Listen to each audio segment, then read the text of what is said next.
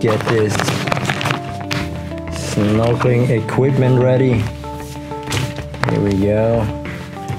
The GoPro charging. We are right here by the lake. Cross nearly more or less the whole island to get here to the turtle point.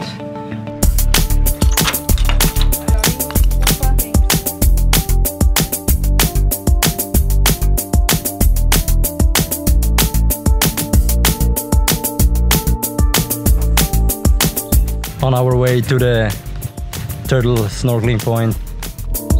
Fantastic color. Kalinka inimesed Kanada.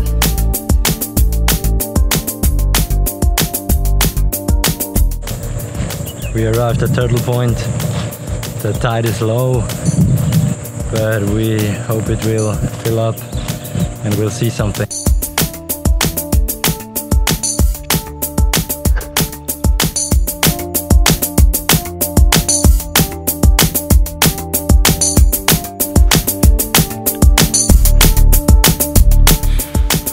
Unfortunately, no snorkeling because Simona stepped into a sea urchin and got hurt, so we went back to the hotel.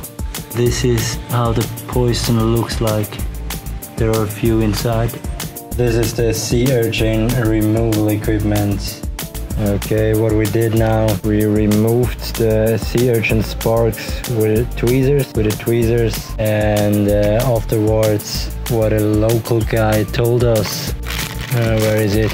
A local guy told us to take a stone and knock uh, beneath the, the spikes where the spikes are in the skin, just to knock slowly to um, pump the poison out and perhaps bring the uh, rest of the sparks out. And now she just uh, put her feet into warm water and we asked here in the hotel to get a bit. This is what we read on the internet. We read on the internet that um, it's good to put a, a, little bit of vinegar. We spilled it over um, over this, uh, the, the, spikes over the the point where the spikes went in. We spilled a bit of vinegar over it and also vinegar into the warm water and she's just uh, relaxing now to get better again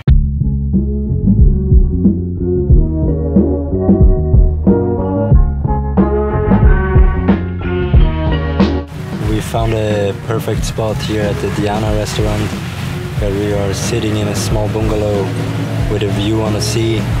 Simona is feeling a little bit better. Uh, she had a good recovery, slept a bit. So if you're snorkeling in Gili Meno, make sure to wear water shoes. Water shoes? Water slippers and be careful. How was the snorkeling today?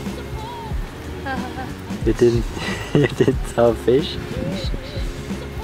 I saw a monster fish. You.